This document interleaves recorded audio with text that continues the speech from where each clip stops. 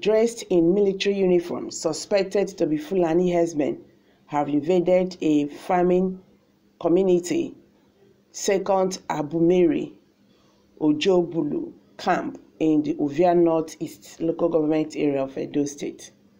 According to Punch, the bandits invaded the village, scaring away villagers and taking over their farms, homes, and properties. Hmm.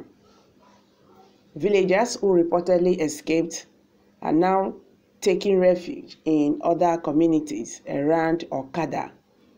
One of the victims, Matu Ali from Taraba State, narrated his ordeal. I lack words to explain what I witnessed in our community. I have been here for over 20 years with my family and we farm. I was in my compound with my family having a good time when we started hearing gunshots and saw people running in different directions. I saw one Benin man running towards my compound and I asked where he was running to and he said his men have taken over the village chasing people away from their houses. So I called my wife and we ran for our lives. I did not see my children. Every one of us ran in different directions. Oh no. As I speak to you now, I did not know the whereabouts of my wife and children. One of the Fulani herdsmen pointed a gun at me and said they were for peace. He said they would only kill people if they refused to allow their cows to feed on their crops. You can imagine this. The yams and cassava you people have are for our cows. If you people touch our cows, we kill everybody in this village. For us to be safe, we ran to the next community. Another victim, Sunday Chime, was quoted as saying, I have been in this village for over 20 years farming. What we saw surprised us. We hear gunshots and people running in all directions. We later discovered that Fulani herdsmen had taken over our community with sophisticated AK 47 rifles and threatening to kill us if we don't cooperate with them.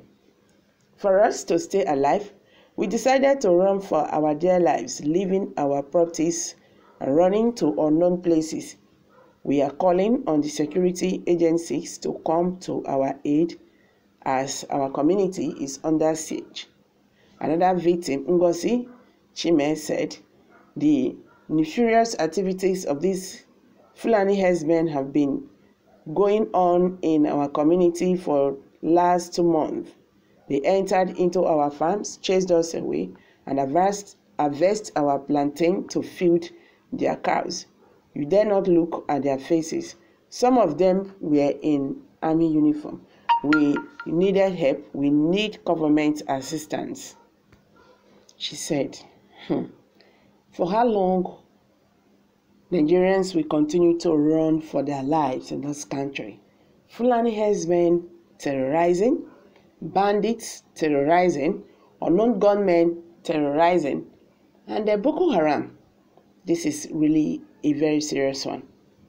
Police and army, how many husbands have you caught in this case? Have you made any arrest? Or is it IPOB and ESN in military uniforms? Hmm. Although are the one Nigerian advocate who feels the whole world migrated from their three local governments and the Oba is the king of heaven and earth. They should not flee. They should stay and defend their land. I remember when they were giving these Fulani and Esmen land in Benin, Edo at large, I warned about it, but they feel they are the agent of Nigeria unity. Hmm. oh my God, this is really very, very bad. Fulani Esmen asking people to keep quiet and watch their cows feed on their crops. And where is all the Edo warriors? Insulting Mazi Nnamdi Kanu, they should come out now and defend themselves. I will not like to start counting loss of life. Okay. Oh, has he reached South South? Hmm. There is problem.